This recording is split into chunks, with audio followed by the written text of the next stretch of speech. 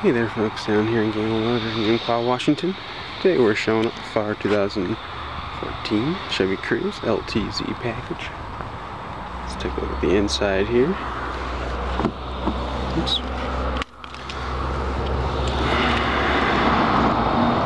Automatically locks closed doors. Some leather interior, leather up steering wheel, stereo setup. Can seat up to five. It's a comfortable ride, OnStar on board.